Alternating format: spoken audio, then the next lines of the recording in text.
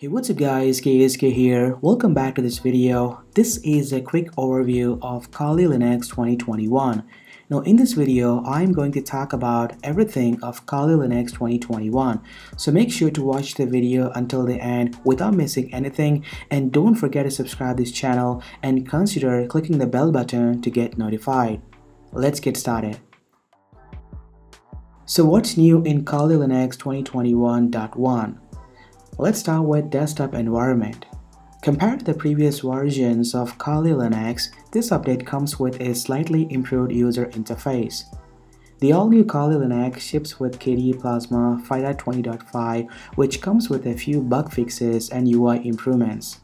It looks more responsive and natural and handles all the inputs quicker and gives any response instantaneously. The default themes on KDE Plasma have been tweaked a little bit to adapt the natural environment of Kali Linux. Also, XFCE, the default desktop environment that ships with Kali Linux has also been tweaked a little bit to make it more unique and gives a true flavor of Kali Linux. The GTK theme on XFCE looks like this and have added a few changes to the system UI controls.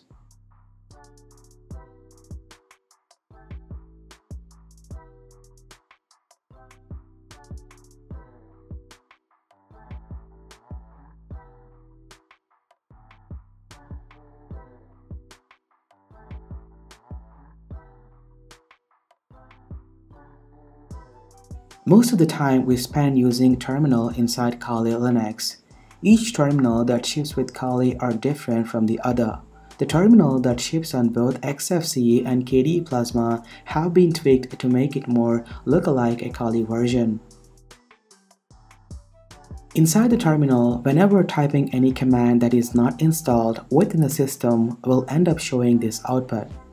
This is very irritating for some users. Now sometimes we end up typing an incorrect name of the command or trying to access a command that was installed and your system ends up showing the command not found. Well, Kali Linux 2021.1 brings an intelligent suggestion to the terminal that enables to find the command to install if not found. For example, if I type h htop and pressing the return key will display this message, and check this out, it even provides the right way to install the command with the help of powerful suggestions. This is an amazing feature to have in Linux. For beginners, it could be a very friendly for them.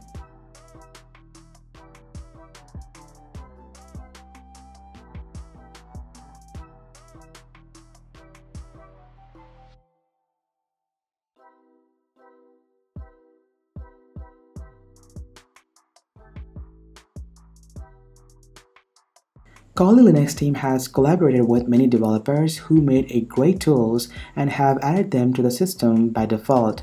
This is the new list of the all new tools that have been integrated into this brand new update.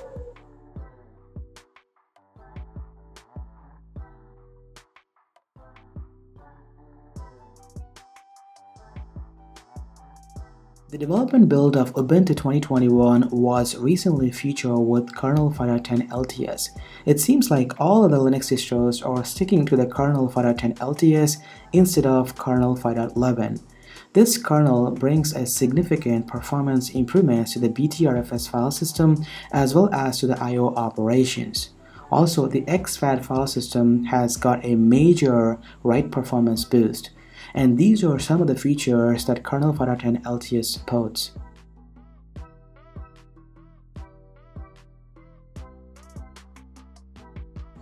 Now the other features of Kali Linux 2021 include a newer boot animation for Kali NetHunter, a preliminary support for Kali ARM for Parallels and Apple Silicon, and more.